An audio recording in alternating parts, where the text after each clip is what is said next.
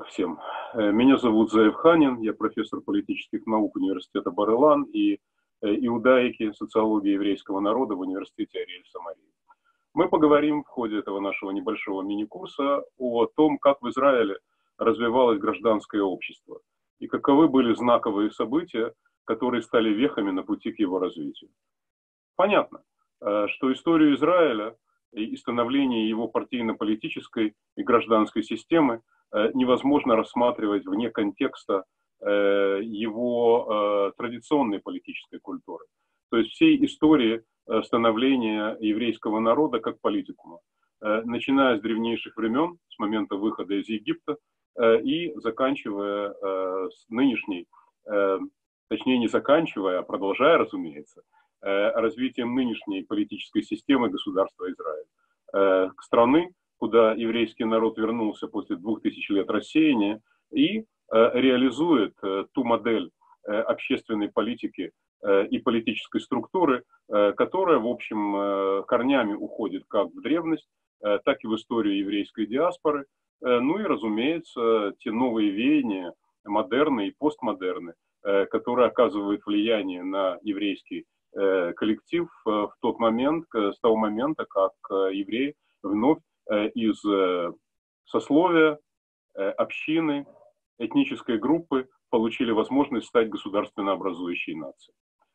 Итак, то, что мы видим сегодня на, в контексте развития гражданского общества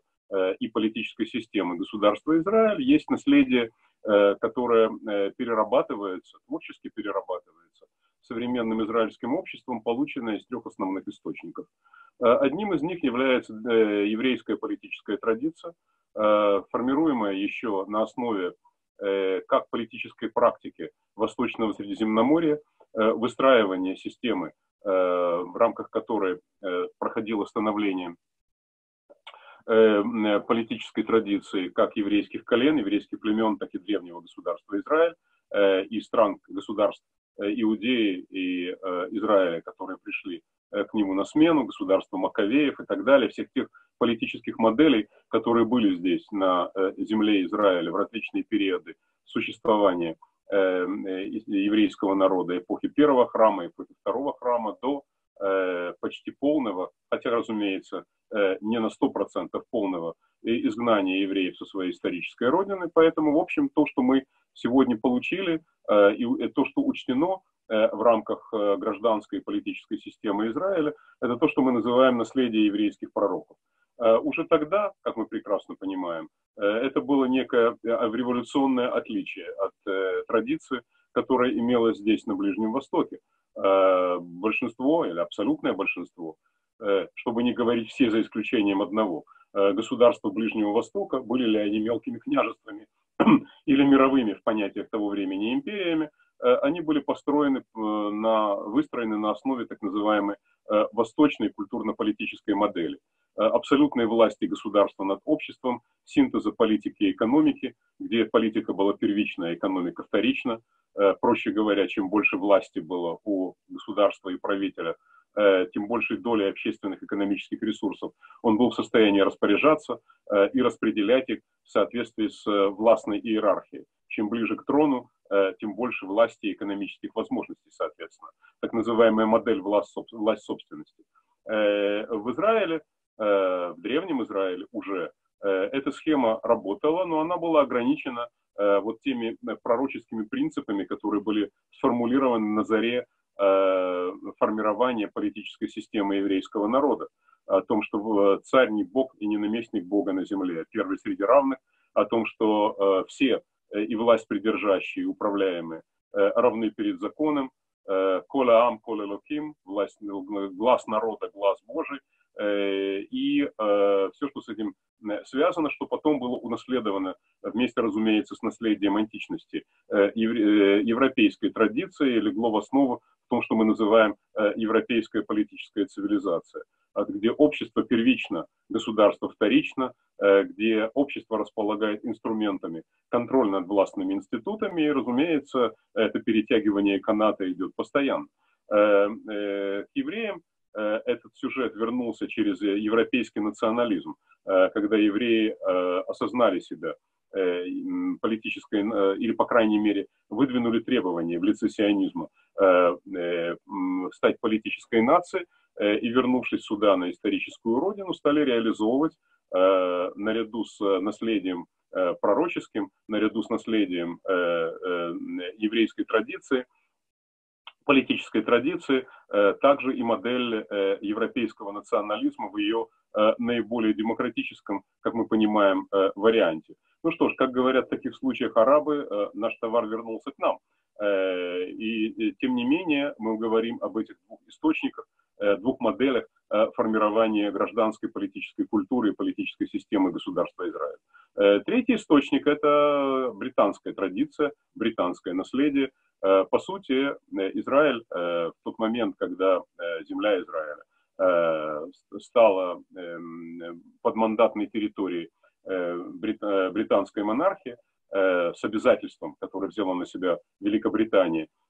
создать здесь еврейский дом для евреев, то, что называется национальный дом для еврейского народа, оставим пока в стороне, насколько успешно она выполнила эту миссию э, и что нам приходится до сегодняшнего дня расхлебывать, все эти недостатки, которые были заложены э, в основу этой системы. Тем не менее, э, британская модель оказала чрезвычайно большое влияние на гражданские и политические институты еврейского Ишуа, то есть организованного еврейского поселения в Эрец Исраэль.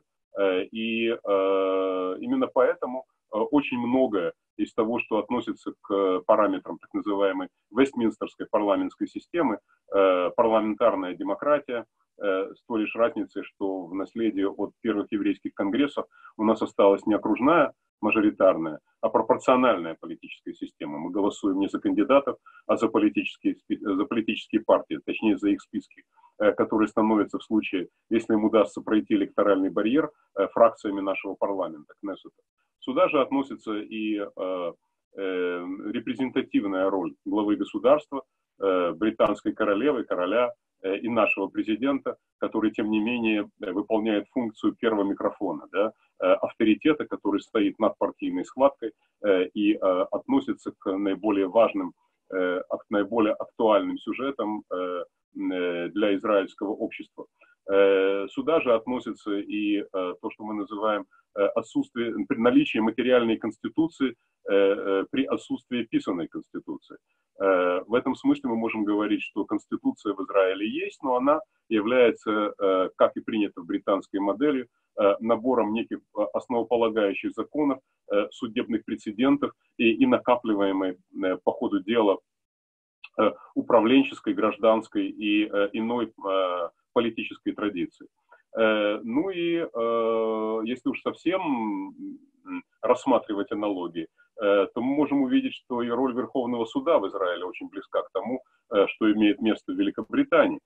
Скажем, до, до, до сравнительно недавнего времени роль Верховного суда в Великобритании выполняла Палата лордов. В Израиле Верховный суд выполняет временами функцию внешней, верхней палаты израильского парламента – и не все от этого в восторге. Э, хотя определенный баланс э, в, во взаимоотношениях э, законодательной и судебной власти при посредничестве или без посредничества исполнительной, наша модель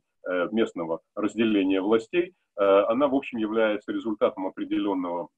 консенсуса, или если не консенсуса, то некоторой договоренности, и, разумеется, каждый из субъектов этого процесса пытается эту договоренность уточнить Э, в свою пользу, что, в общем-то, тоже есть предметом э, нашей общественно-политической дискуссии. Э, так или иначе, вот эта вот трехглавая модель, или модель, выстроенная из трех источников, еврейское наследие, политическое наследие, наследие европейского национализма с тремя главами, сформулированное деятелями французской революции,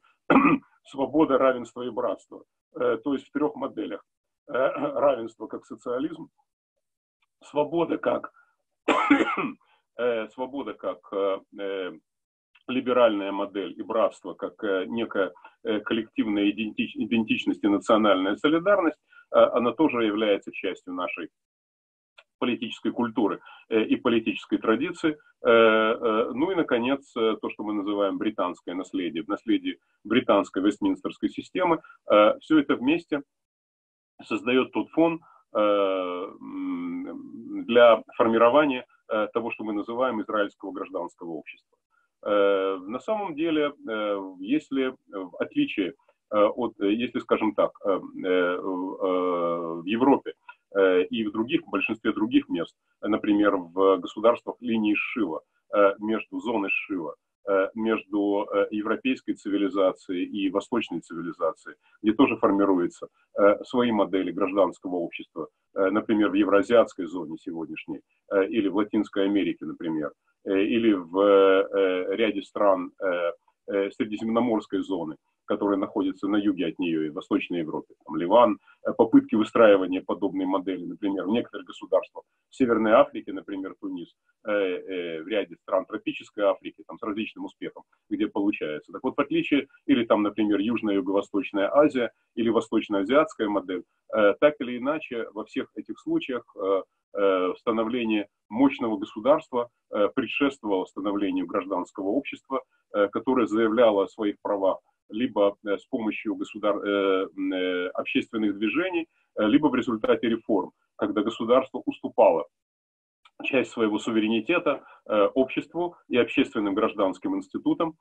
Напомню всем пользователям, и, да и себе самому, э, что под гражданским обществом в широком смысле мы понимаем общество, которое живет в условиях демократической системы э, и пытается трансформировать ее от якобинской демократии, когда полная власть находится у большинства, к так называемой либеральной демократии, когда меньшинство получает свою долю в этом мире и не только в мире грядущем, хотя это тоже важно. Так вот, стало быть, в э, свою долю власти э, и возможности влиять на распределение общественных ресурсов, э, а в узком смысле под гражданским обществом мы понимаем систему общественных, негосударственных институтов, так называемые NGOs, Non-Government Organizations или Non-Government Institutions, которые, по сути дела, являются барьером между всевластием государственной бюрократии и обществом. Э, своего рода прокладкой да, между э, интересами, э, все сконцентрировать, всем управлять и во все вмешиваться. Что есть естественная роль бюрократии в любой стране, от самой демократической до наименее демократической. Другое дело, кто, что этот слон, в общем, конечно, съест, но кто ему даст, да, в зависимости от этого. Или дадут съесть все, ну или, так сказать, дадут то, что общество, в чем общество заинтересовано, что оно готово ему передать из своего суверенитета. Экономическое планирование, безопасность, внутренняя безопасность, э, э, финансирование э, тех групп, общественных групп, которые не могут помочь себе сами, скажем так, финансирование заведомо убыточных сфер, но актуальных для общества, как, например, культура, ну и так далее и тому подобное. Так вот, стало быть, в, в этом смысле Израиль отличается от э, э, других э, братских либерально-демократических государств тем, что в Израиле гражданское общество возникло раньше, чем государство. По сути, еврейский Ишу в Палестине, в Эрец Израиль, как мы ее называем, земле Израиля, был вот такой вот гражданской нацией или гражданской общиной. Некоторые аналогии мы можем видеть в античные времена в Греции, но наша модель Э, демократии отличалась от э, э, греческой астракистской модели, да, где winner takes all, победитель получал все. Израильская конституциональная демократия, как мы ее называем, то есть согласительная демократия, она исходит из того, что о разногласиях не спорят на поле боя по возможности. В нашей истории такое бывало – Э, во время Иудейской войны, например, и закончилось плохо. Э, поэтому в последующие времена э, вот то самое наследие, историческая, генетическая память, если хотите, она заставляла даже наиболее противоборствующие субъекты в политического процесса все-таки постараться договариваться. И об этом мы с вами тоже поговорим. Вспомним Анталену или Э, ситуацию, которая возникла после убийства Рабина или после размежевания э, так называемого одностороннего ухода э, израильских поселений и Цагала из Газа и Северной Самарии. Но так или иначе, вот эта вот попытка достичь консенсуса, невзирая на то, сколько, в какое количество, какой объем временных, экономических и политических ресурсов это обойдется, было характерно для еще на заре сионистского движения, на сионистских конгрессах, хотя и там всякое бывало, и, в общем, было унаследовано общественными и политическими институтами во времена британского мандата, во времена Ишуа. Э, и, в общем, так или иначе было передано э, в ту традицию, которой пользуется и израильское государство, хотя и там э, прошло несколько этапов на этом пути, пока мы сумели выстроить как нам кажется, полноценное гражданское общество, да и то, да и к нему у нас есть немалые претензии, но отнесемся к этому чуть ниже. Так вот, в нашем случае, подчеркну еще раз, мы имеем дело с тем, что называют, э, со своеобразной моделью, когда возникло сначала гражданское общество, а государство было чужим, государство было британским, хотя, конечно же, э, оно передавало институтам, политическим институтам Ишова, э, Асифата Невхарим, то есть собрание депутатов, наш предпарламент, еврейское агентство, исполнительные органы которого выполняли роль своего рода, так сказать, автономных структур управления, эм, институции, которые э, были избраны э, различными политическими движениями э, для того, чтобы служить противовесом исполнительной власти в лице органов Всемирной сионистской организации и еврейского агентства фондов, профсоюзов, Гистадрута, который, по сути, впервые, пожалуй, или во всяком случае наиболее масштабно из всех мест, где присутствовали сторонники этой модели, Э, э, сумел сформировать э, структуру, которая одновременно выполняла функцию и работодателей, и защитников интересов трудящихся в лице так называемого, в лице так называемого концерна рабочих, то, что называется, Тагидов Дим. Есть другие, есть другие наименования этого института. Так вот, э, э, в этом смысле мы можем говорить о том, что э, израильское общество, которое возникло до основания государства, со всеми его атрибутами, профсоюзами, избирательной системой, политическими партиями, культурными организациями, спортивными и так далее и тому подобное – ну, в общем, э, в этом смысле изначально было неким гражданским обществом, и наше отличие э, в выстраивании государственной политической системы и общественной, соответствующему общественной гражданской системы, отличие от родственных нам европейских стран проходило с точностью да наоборот. Там государство эм, отделяло обществу, возвращало обществу э, постепенно элементы суверенитета. Э, в Израиле гражданское общество э, в силу обстоятельств, понятных политических обстоятельств, уступало все большую и большую часть своего суверенитета государственным институтам. То есть происходил процесс, начиная с образования государства Израиль в 1948 году, определенного государствления этих вот самых общественных структур. Э, если мы попробуем поговорить с вами о параметрах э, этих общественных структур, то мы с вами э, увидим на завершающих этапах становления Ишува, то мы с вами увидим, что ведущую роль там играли как раз политические партии. Практически все исторические партии Израиля мы не говорим о тех, которые возникли в последние десятилетия, как ответ на усложняющуюся структуру израильского общества. Мы говорим о тех, которые возникли еще в основном в черте еврейской оседлости э, Российской империи, откуда, в общем, и вышли э, представители первой, второй, третьей, четвертой аллеи, э, еврейской аллеи, еврейской репатриации новейшего времени в землю Израиля. И именно, то есть те, те группы, которые и их наследники – во втором, в третьем и четвертом поколении составили основу, э, составили основу э, того, что мы называем Первый Израиль, то есть ядро израильского среднего класса и его эм, управленческих, политических, административных, поселенческих, образовательных, культурных, культурологических, правильнее их назвать, информационных, военных и прочих элит. Так вот, э, э, эти политические партии, старше государства Израиль, самая старая партия по времени, которая у нас есть, это Мавдали, все ее реинкарнации, возникшая, возникшая еще как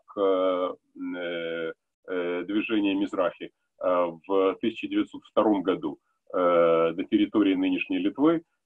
там же и наиболее древняя, вторая по древности израильская партия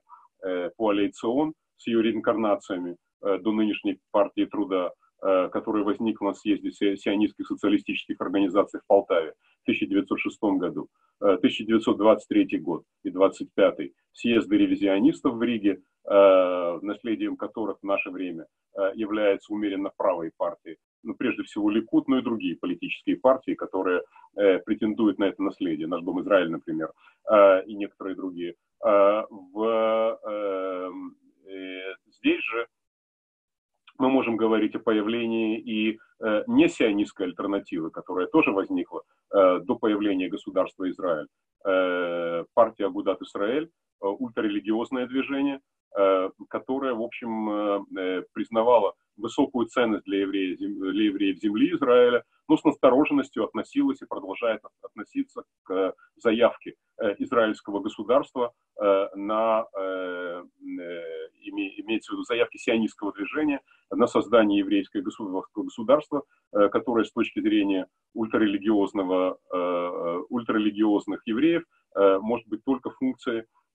Мессии и, и, и не раньше, чем Мессия сюда придет. Да? Э, одновременно с этим э, вне сионистского консенсуса находятся и арабские партии. Э, прежде всего, коммунистическая партия, первоначально двунациональная, и арабо-еврейская, или правильно сказать, еврейско-арабская в прежние времена, но сегодня почти исключительно арабская, и которая наряду с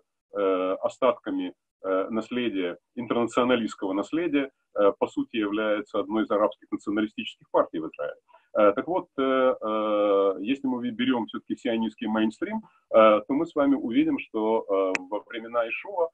именно они являлись эм, источниками, инструментами по выстраиванию гражданского общества. Практически не было сферы, где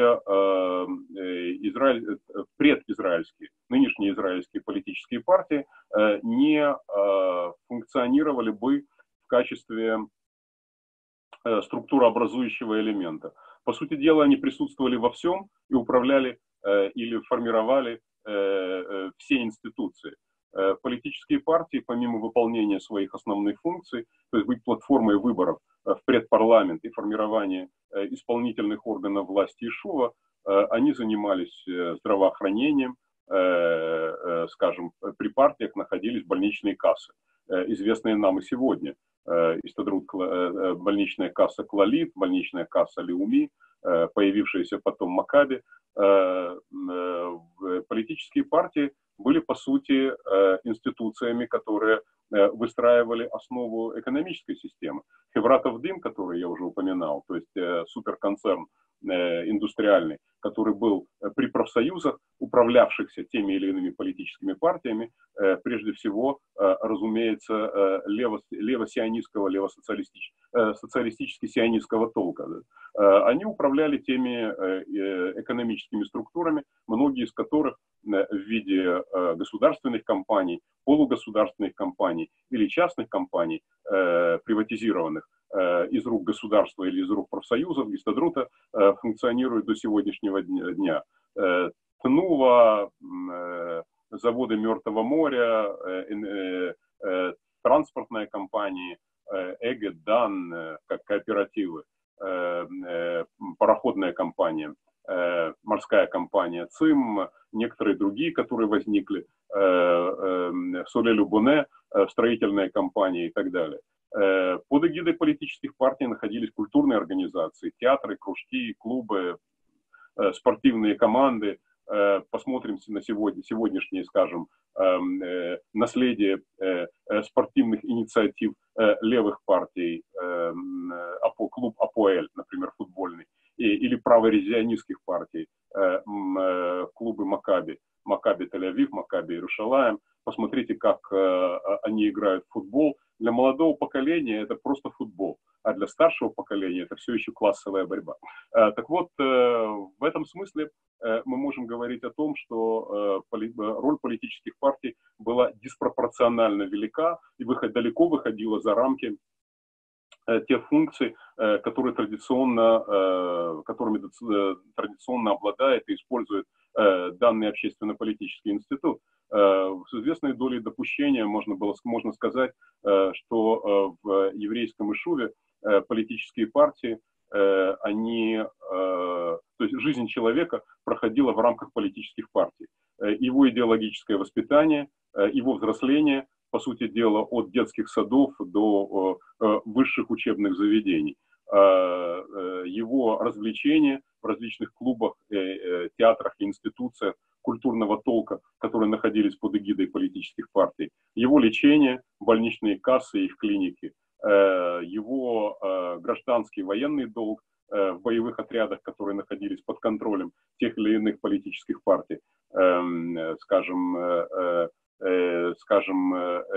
известные нам праворевизионистские Эцель, Лехи или, или Агана, которую контролировали, которую контролировала Ахтута Авода и некоторые другие левые политические партии, в том числе Э, и э, спецотряды э, еврейского Ишува, которые вообще находились под контролем ультралевого кибуцного движения. Короче говоря, в этом смысле мы можем говорить, что жизнь человека от рождения до продвинутых этапов его жизни проходила под эгидой политической партии. Единственное место, где партийных различий почти не было, было кладбище, но мы считаем это упущением и работаем над этим на сегодняшний день. Так вот, стало быть, в данном случае мы говорим о том, что э, после создания государства Израиль э, процесс постепенной передачи этих функций э, в э, сформированные институты, э, в руки сформированных институтов государственной власти, э, сформировавшихся из соответствующих э, э подразделений э, еврейского агентства, э, Статрута Ционит, то есть э, Сионистской Федерации э, и, профсоюзов, э, и, а также Э, в руки парламента, законодательной власти, которую мы называем Кнессет, а, а также выстраивание э, формальной судебной системы э, и максимально автономной, насколько это возможно, от законодательной и исполнительной ветвей власти, в общем, проходила вперед структура образу, так сказать, формативного момента, да, формативной стадии государства Израиль. И, этот, и параллельно гражданское общество Э, выстроенная и влиятельная, э, изменяла свой, свой образ э, и адаптировалась к новой политической реальности. Понятно, как мы с вами и говорили, уже чуть помянули чуть выше, это происходило одновременно с Э, э, скажем так, символами этого процесса были некие знаковые события э, различных этапов израильской истории. Эти этапы израильской истории мы и назвали этапами израильского парламентаризма, потому что это все проходило в, концессе, в, кон, простите, в контексте выстраивания модели израильской парламентарной демократии. Этих этапов было три. Полуконкурентная, возьмем паузу. Так вот, этих этапов было три. Э, полуконкурентная демократия эпохи Мапай, э, вторая, э, которая продолжалась с момента создания государства Израиль, 1948 год, до электорального переворота 1977 года. Второй этап с 1977 по начало 90-х годов. Это так называемая эпоха двухблоковой, двухпартийной демократии, когда за политическую власть в стране и, соответственно, э, боролись и, соответственно, определяли образ э, политического процесса э, и эм, адаптируемых под него гражданских институтов, определяли две основные партии, левоцентристская Мапая Вода правоцентристская партия Ликут со своими так называемыми естественными союзниками, и теми балансирующими структурами, которые занимали узкое поле, центристское поле, э, э, с, предлагая самостоятельную идеологическую модель или без нее э, между правоцентристским Ликудом и левоцентристской партией труда. И, наконец, с начала 90-х годов когда в силу причин, о которых мы поговорим ниже, возникла то, что называется модель партийного полиморфизма, то есть множество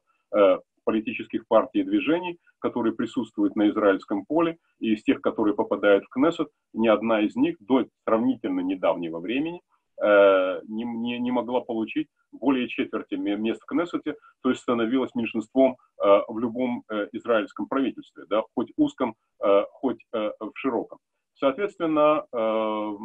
израильское гражданское общество э, так или иначе реагировало э, на ту или иную модель, предлагая свои схемы альтернативной, альтернативы власти. То есть общество так или иначе пользовалось теми инструментами, выборы, свободная пресса, которая в Израиле из партийной в основном, в общем,